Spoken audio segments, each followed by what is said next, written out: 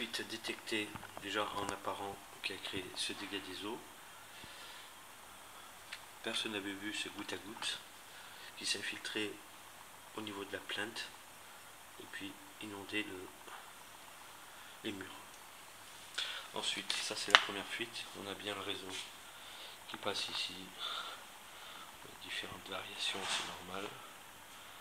Hein, qui va dans les autres pièces, etc. une accumulation ici. Par contre, on a bien une surcharge d'eau chaude ici dans le réseau.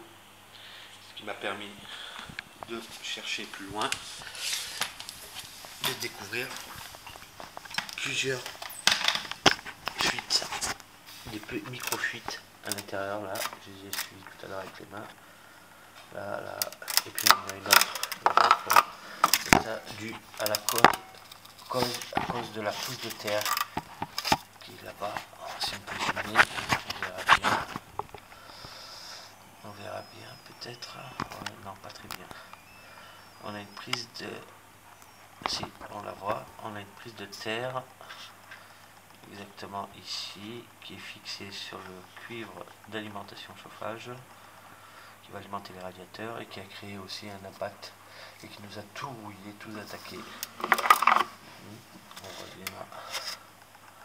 Fuite détectée.